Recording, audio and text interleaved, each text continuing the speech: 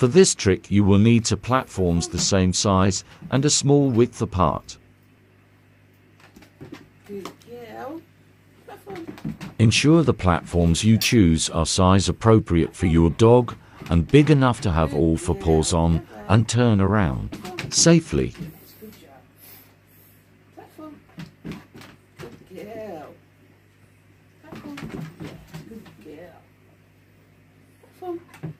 If you're not in a wheelchair, you can lure your dog across.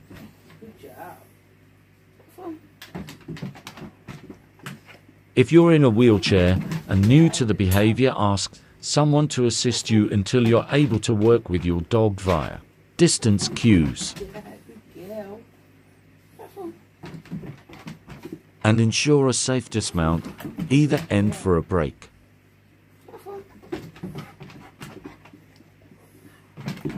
Yeah, yeah.